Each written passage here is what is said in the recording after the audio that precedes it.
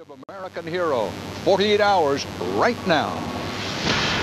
They were heroes Did you hit your head, Winston? long before September 11th. More heroic than anything you can imagine.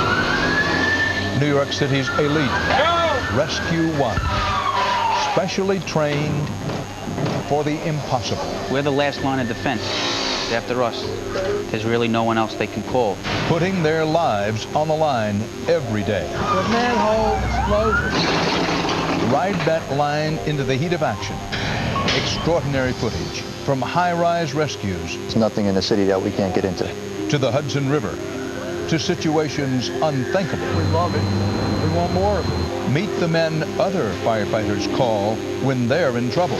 Men like Dave Weiss, I'm born firefighter. Joe Angelini, the city's oldest firefighter. Legend. And then Every place in Manhattan is a challenge. there's Captain Hatton, Captain Manhattan. That's what the guys at Rescue One nicknamed him. I think I gave him a medal a week.